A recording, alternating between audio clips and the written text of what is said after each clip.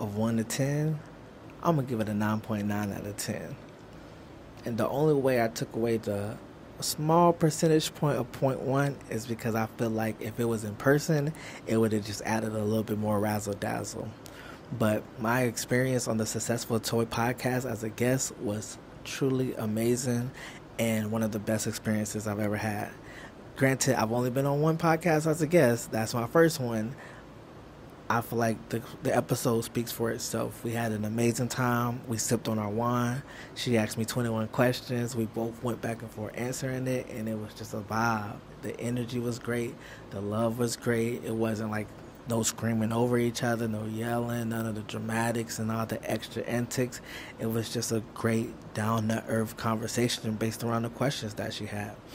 I will say, Miss Toy, you are an amazing woman. You're an amazing person. You're an amazing individual.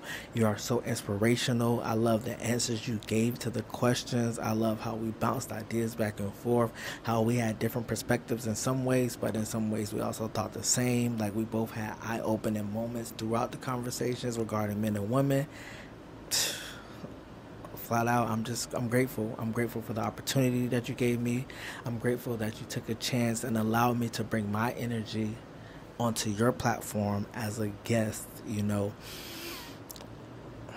I appreciate it. I love it and I look forward to seeing you at the top. Your podcast is going to do wonders. You are doing so much with your relentless hustle, the marketing, the editing, the guests that you've been picking, the shows that you've been doing, how you have other events going on. You do li- you host live events as well.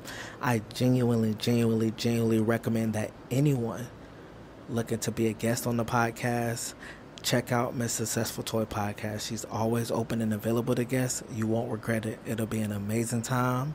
It'll be a vibe. She brings good quality energy, and y'all can just rock out. Reach out to her, connect with her, and even if you're not ready to be a guest, go ahead and check in with her. You know, look at the episodes, look at the shows. They're engaging, they're fun, they're entertaining. The questions that she develops and comes up with is nothing like any other. So, Miss Toy, Again, I'm not gonna tell anyone your age, but whatever you're doing, send me the recipes. but yeah, that's this like the successful toy podcast. Thank you for allowing me to get my first ever experience. Forgive me, I misspoke. That was my second podcast experience. I was on the Verbal Tea Time podcast as well, which is also another wonderful show. I'll have to do a review on that podcast next. So my apologies. I did it too. I've been doing a lot, so my brain sometimes doesn't function properly. But I don't want to take it away from the review. Miss Miss Toy, the successful toy podcast. I feel like, like they say, the reading is in the pudding. It's in the name. Successful toy.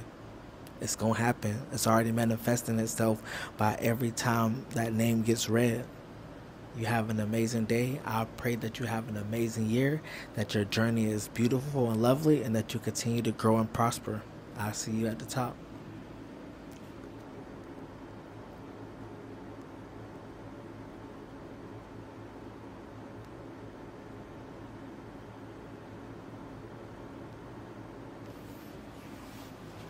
Thumbnails and stuff, you know what I'm saying?